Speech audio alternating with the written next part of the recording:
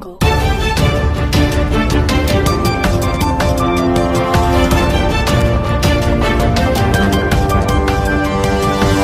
người.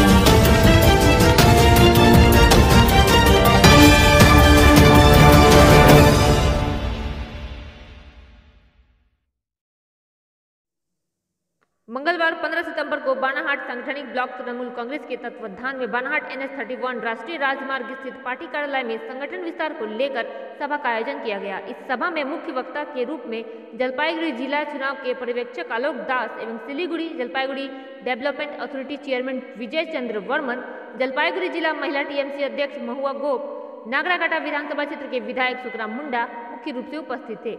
इस दौरान बानाहाट सांगठनिक ब्लॉक कमेटी के अध्यक्ष नयन दत्ता कार्यकारी अध्यक्ष सागर गुरुंग एवं युवा ब्लॉक कमेटी के अध्यक्ष विमल महली, महिला ब्लॉक कमेटी के सभापति सोमा सोम, श्रमिक नेता संदीप छेत्री आदि मुख्य रूप से उपस्थित थे। आज की सभा में बूथ स्तर से लेकर अंचल ब्लॉक स्तर पर संगठन को मज़बूत करने, पश्चिम बंगाल सरकार की जन कल्याण योजनाओं को जन जन तक पहुँचाने एवं संगठन में आपसी मतभेद और गतिरोध को छोड़कर मिलजुल कर कार्य करने की विशेष ज़ोर दिया गया। जलपाईगुड़ी जिला चुनाव पर्यवेक्षक आलोक दास ने कहा कि केंद्र सरकार राज्य के सरकार के सहयोग नहीं कर रही है। इसके कारण विकास कार्य में काफ़ी असुविधा हो फिर भी जन्म से लेकर मृत्यु तक लगभग तिरसठ योजनाएँ जो जन कल्याण हेतु मुख्यमंत्री ममता बनर्जी द्वारा जनहित में जारी किए गए हैं, जिनका लाभ जन जन को पहुँच रहा है। इस सभी योजनाओं को जन जन तक पहुँचाने और संगठन से लोगों को जोड़ने के कार्य पर विशेष ज़ोर दिया गया। वहीं ग्राम पंचायत कार्यालय द्वारा दुर्नीति के विरोध में भी आवाज़ उठाई गई। আমার মনে হয় একটু অনুশাসন মেলে আমরা যদি দলটা মানি, যে দলের আমাদের সভাপতি, তার কথাটা তো আমাদের শুনতে হবে।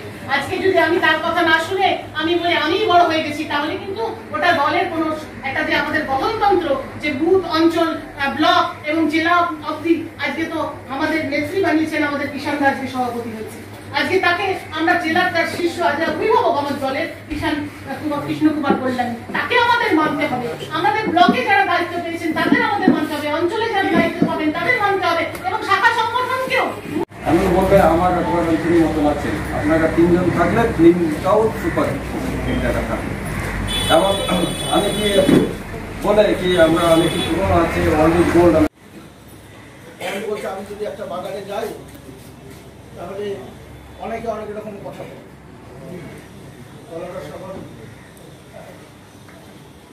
কেউ নয়ন করো না, আমি বাগানের এরিয়ার মধ্যে আমি একটা জিনিস। রাজনীতিতে শ্রদ্ধা এবং শিষ্টাচার না রাখলে সে রাজনীতি হয়। সেটা হয় না। কেউ কিছু বলবে না। মমতা মাথা রেখে কেউ কিছু বলবে না। আর আপনি শুধু একাই হেরে যাবেন হয় না।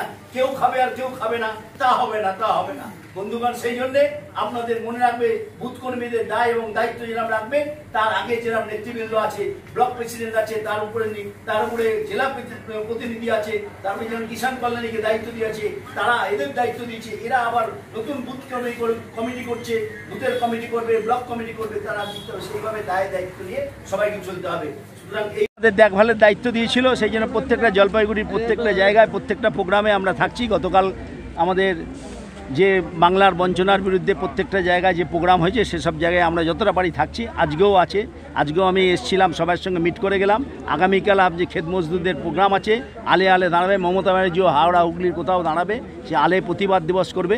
যে কেন্দ্রীয় সরকারের বঞ্চনার প্রতিবাদে যে আমাদের কে ক্ষেতের টাকা দিচ্ছে না, আমাদের সারের টাকা দিচ্ছে না, আমাদের বাংলার জিএসটির টাকা দিচ্ছে না, আমরা আমফানের টাকা দিচ্ছে না, আমাদের কোনো কিছুর টাকা দিচ্ছে না। সুতরাং আমরা চুয়ান্ন হাজার কোটি টাকা আমরা পাওনা আছে, তারা আমাদের দিচ্ছে না।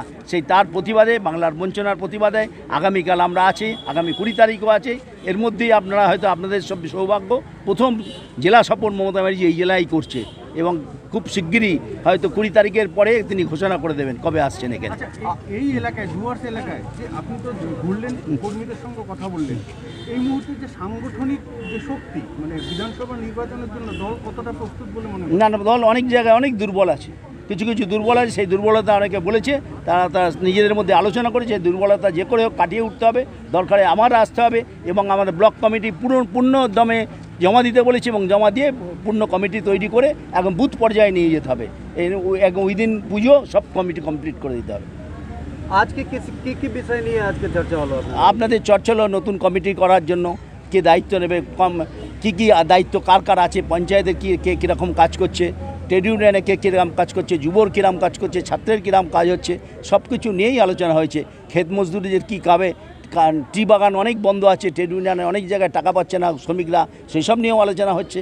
বহু কিছু নিয়ে আলোচনা হয়েছে এবং গ্রামের যে মানুষ যে পঞ্চায়েতের টাকা পাচ্ছে না, অনেক জায়গায় পঞ্চায়েতে কিছু কিছু লোকের এরম দুর্নীতিও আছে। এটা অস্বীকার করতে আছে না। কিছু কিছু জায়গায় আমরা আমি সৎ আর ওর জন্য কেউ এরমভাবে চলতে পারে না তো? প্রত্যেকটা জায়গায় মানুষের জায়গায় মানুষকে দিতে হবে। মানুষের কাজ মানুষকে করতে দিতে হবে।